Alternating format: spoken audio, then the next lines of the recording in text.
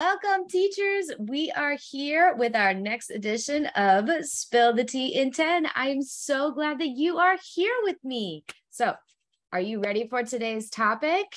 Every Wednesday at 4 p.m., I get the unique privilege of answering questions from this audience of proficiency oriented teachers, questions about their instruction, and we talk about it in a quick chat in 10 minutes. So if you're down for it, let's get started.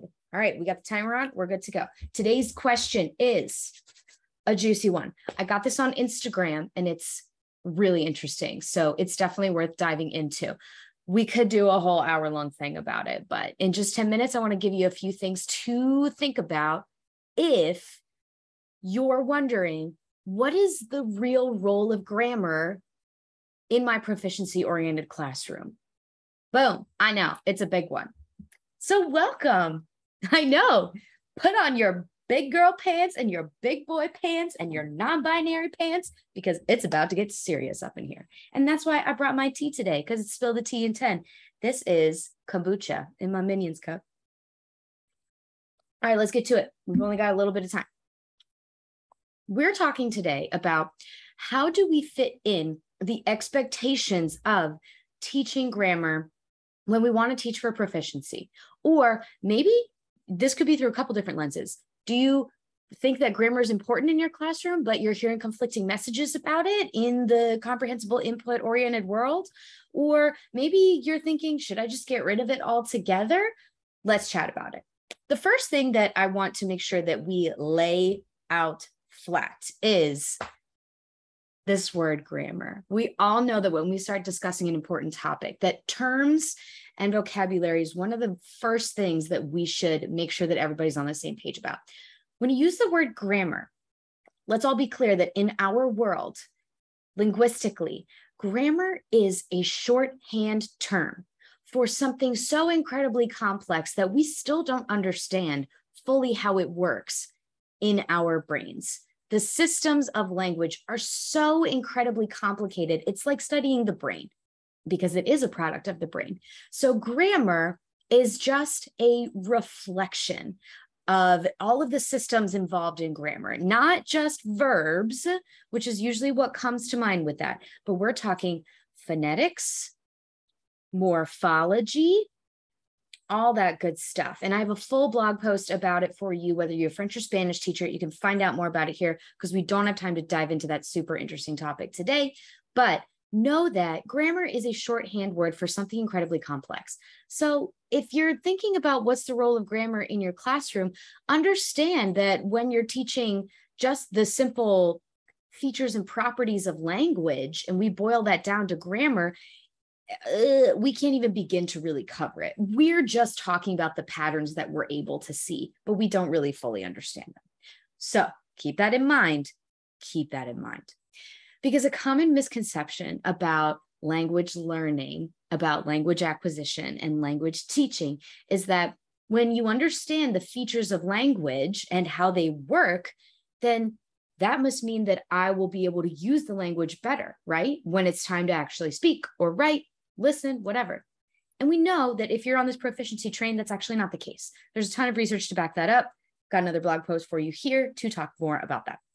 But there's still some disconnect between how the teaching, we'll just call it teaching the properties of language, like introducing the properties and features of language, call it grammar, to students. How effective is this? How much should we be doing it? Oh and you know that ever constant pressure if you teach in this situation where people are telling you that you have to do this and you're not sure where it's going to fit into your curriculum. So i got a few suggestions for you. Okay so we talked about how grammar is not really actually grammar so keep that in mind when you're teaching. And that some students will ask for it because their parents are used to seeing it a lot um, I mean, there's stakeholders that, that it's still a really common myth around what it means to acquire a language, that you need to understand the features in order to really grasp it. Also, if you are a language person, like remember, only 2% of your students really will be. Only 2% of your students think like us, think like language teachers, and want to know how the language works. Think of it as like if you were teaching your kid how to drive a car, only 2% of them want to know how the engine works. The rest of them just want to learn how to drive, right? I don't I don't give a you know what about how my engine works. I just want it to roll. But when it comes to language, oh man, I would be taking that engine apart because I care a lot about language. Keep that in mind for your students. Some of them will ask, give it to them if they ask. However, you can avoid a lot of these problems and potentially even you know friction. I don't even want to say conflict but sometimes there's friction between differing points of view on this when it comes to department meetings and curriculum expectations for to include grammar or not to include grammar because there is this prevailing myth that grammar equals rigor in a world language classroom. False but that's another topic we don't have time to talk about today. So if you are in this position where you don't really want to fight that battle or you're maybe even you know leaning that way yourself or you just want to teach some grammar whatevs here's how you can go about it. It will be a lot easier for you to even just avoid that whole mess if you have a truly well constructed and well organized curriculum map because the natural progression and patterns of what you'll see in either if you're teaching outside of the US, any most international standards use CEFR, the natural progressions of language outlined in CEFR. If you're following those, then all of the language features that you need at the right time are included in order. The next thing is that if you're teaching inside the US, like I previously had experience with, then ACTFL does the same thing. No language features are specifically mentioned because that's not the focus, but you will, your students will need to actively use them in context in order to achieve those goals. So if you have a really well outlined curriculum map that's following those two different system standards, then you'll be fine and you don't have to worry that much about teaching like over teaching explicit grammar really if you are in the position where you have to teach explicit grammar for whatever reason. You want to you're being pressured to you're curious about whether it's necessary or not.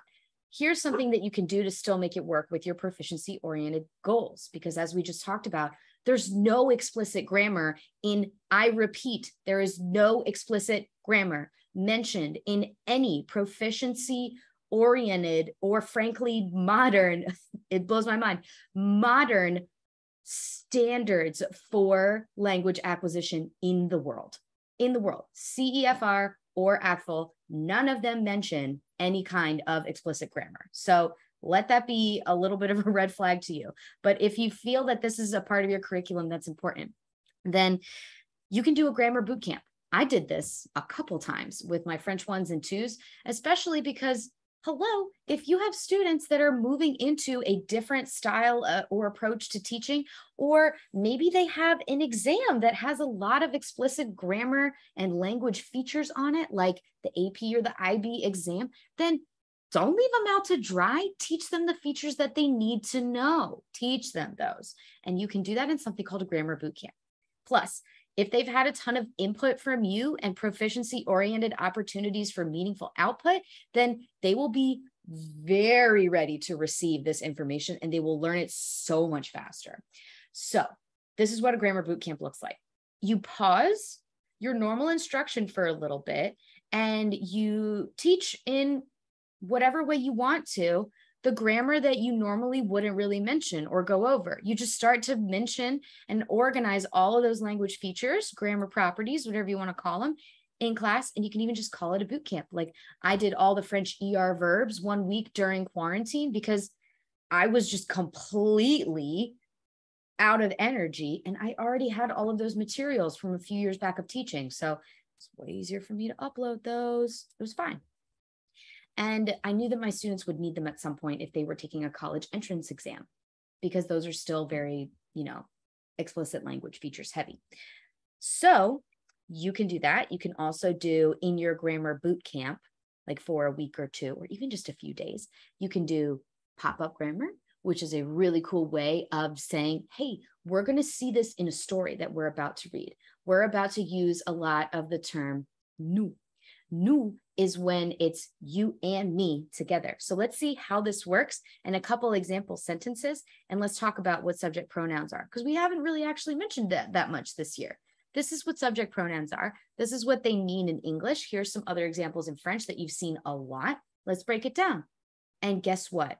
In five minutes, after your students have seen the word je, tu, il, and elle, and on, after they've already seen it a million times from you speaking to them, they it, it'll just click. They'll be like, oh, that's like the word we in English, or that's like the word they. Got it. No problem. And they'll move on.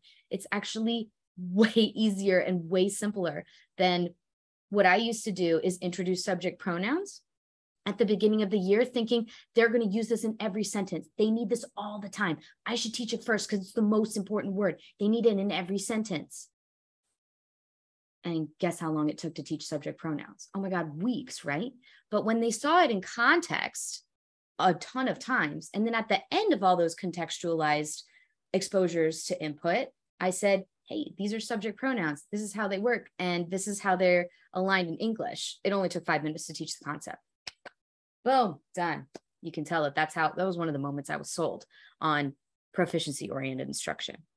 And in my notes here, I have a last one for you. Look this one up if you haven't seen it before, but this is a total gem for especially when you have required things that you need to teach uh, like maybe difficult tenses, irregulars, things like that, uh, masculine, feminine, which is just a doozy in any romance language.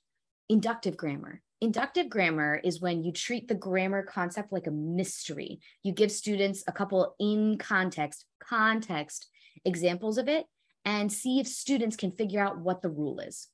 What's the rule? How are they supposed to apply it? Don't ask them to, you know, produce it, but what's the rule? How do they apply it? What does this mean in French or Spanish? and then you and work as the facilitator of the discussion and the students are like the investigators and at the end if you figure out the rule then they win it's called inductive grammar it's a lot of fun my final thoughts for you is that like all comprehensible input teaching things that when it comes to explicit features of language shorthand grammar as we like to refer it you know the like linear verb charts that we see in our uh, grammar syllabus, that kind of deal. It's a huge mindset shift, huge mindset shift that think about grammar is just another tool in your tool belt that helps your students along the line. But it is no longer the vehicle. And frankly, it never was. It is not the vehicle for learning or what we know better to be as acquisition. It's honestly not even the tire on your vehicle. It's more like the AC in your car if we're going with the extended metaphor of a vehicle. So, your vehicle, if everybody's hopping in and learning a language with you and you're helping them, your tires are other things, but grammar does make it easier. You know, AC makes it easier, but you can honestly roll without it. However, it's a tool. Why not use it, right? So, grammar is not your enemy, but there are still differing opinions on how important how little importance it has, all that good stuff. Look into that for yourself and see what really makes sense for you right now in your season of teaching. But at the end of the day, do understand that when you're teaching for proficiency, everything about it is a mindset shift. And that's what's beautiful about it. You're making learning so much more accessible to so many more students this way. Thank you so much for joining me for this. I hope that you learned something and that you loved it. Let me know in the comments below what is your favorite way to talk about language features in class and what do you think has worked for you in the past? Do you have any questions? Put those in the comments below too. Or you can be like this teacher and reach out to me on Instagram at La Libre Language Learning. I would love to hear from you. We do this every Wednesday, so come and hang out.